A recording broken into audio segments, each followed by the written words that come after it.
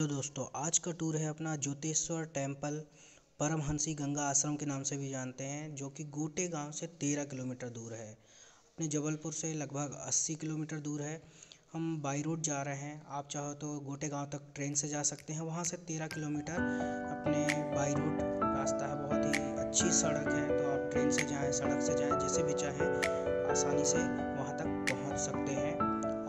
मंदिर के बारे में आपने सुना होगा, शंकराचार्य जी के बारे में भी सुना होगा तो उन्हीं के द्वारा ये सहपुरा को क्रॉस करते ही झांसी घाट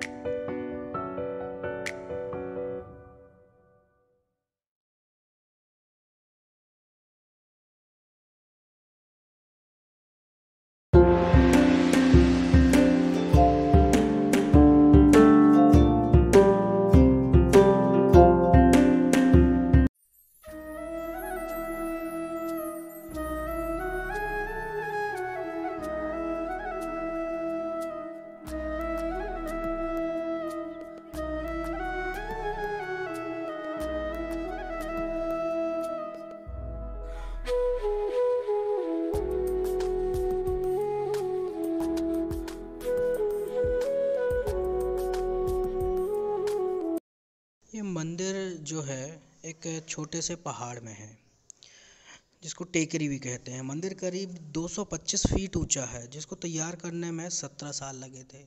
इस मंदिर का जो निर्माण कार्य है, वो 1965 में प्रारंभ हुआ था। और 1985 में इसमें देवी देवताओं की पहली मूर्ति रखी गई थी, जिसको आप सब, आप सभी इस नाम राज राजेश्वरी त्रिपुर सुंदरी मंदिर के नाम से जाते हैं, जानते हैं। माता रानी राज राजेश्वरी की प्राण प्रतिष्ठा 1985 में की गई थी। ये जो मंदिर है, अंदर से पीले रंग का है और दक्षिण भारतीय शैली को दर्शाता है। दक्षिण भारतीय शैली में बना हुआ है। आप इसके छत देखें दीवार देखें, बहुत ही सुंदर है।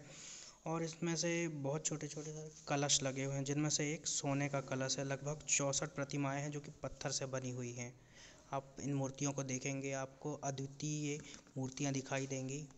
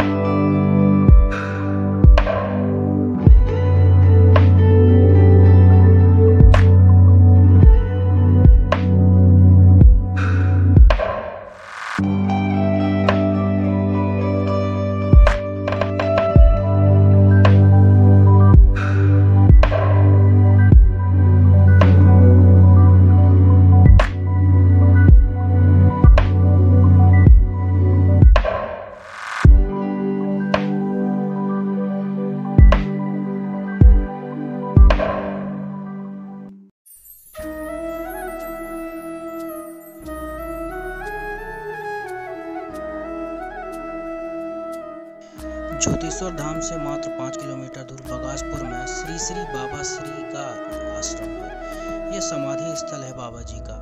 इन्होंने अपनी समाधि अंतिम समय, अंतिम साँसें यहीं पे ली, जिसका जो दृश्य है अद्वितीय है। आप इसको देखेंगे तो आपको बिल्कुल अमृतसर के स्वर्ण मंदिर की झलक इसमें दिखाई देगी। शिव मंदिर है यहाँ पे, श्री गणेश मंदिर है, वृंदावन की छटा आपको दिखाई देगी